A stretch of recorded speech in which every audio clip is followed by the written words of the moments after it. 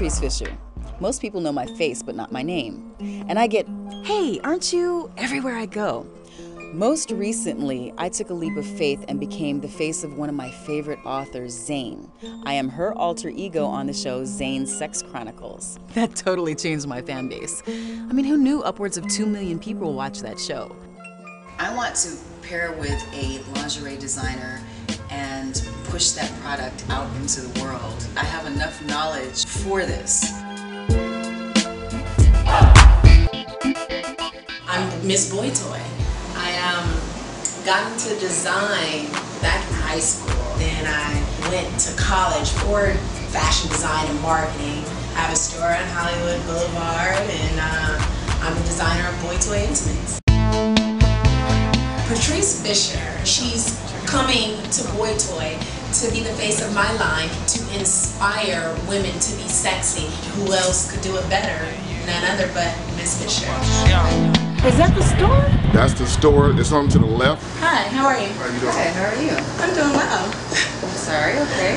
I'm Sty. Nice, to meet you. Hi Patrice. Hi, Patrice. How are you? Good. Feel free to look around. You like the place. This honey pie. Um, that's my closet, boy toy. My models are all here. It's a closet. Honey pot is where everything's sweet. Can I have my models come in, please?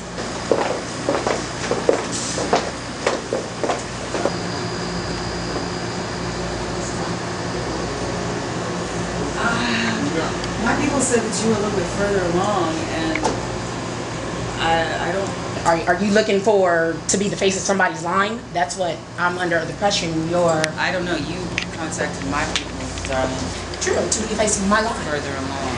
We're gonna have to talk about this a little bit later. I felt that her pieces were unfinished. Guess what? Your body ain't good enough to rock it all. Keep my code. Keep my code. Coming here like she just misses Boss Lady. Please, Mrs. Boss Lady.